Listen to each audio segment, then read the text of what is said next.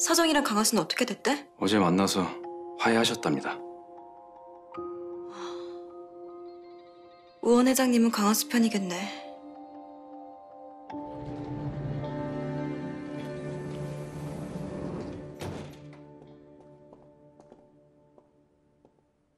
뭐요? 뭐가요? 보여지는 것도 프레젠테이션이라면서 왜 아까 물고 그대로냐고요? 저는 주 총장이 안 갈 거니까요. 아, 상무님이 안 가면 어떡해요? 저는 대행사 직원입니다. 타인의 일을 대행해주는.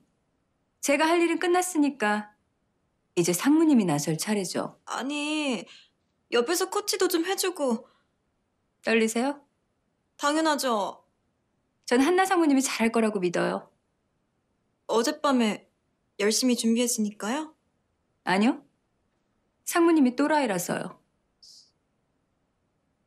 딱 지금처럼 이기든 지든 상관없으니까 가서 당당하게 하고 오세요.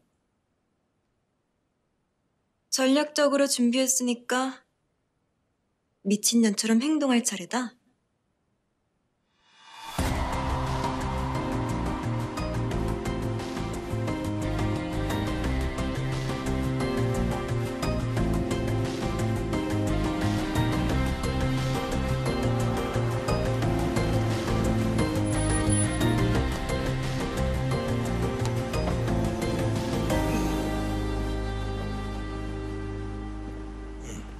회장님 덕분에 잘 끝날 것 같습니다.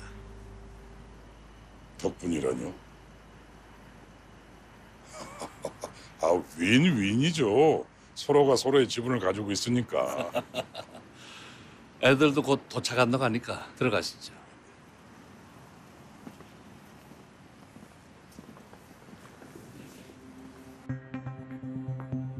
언제 들어갈까? 초대받지 못한 손님이니까 쫓아낼 시간 없게 정각에 들어가시죠. 그러자.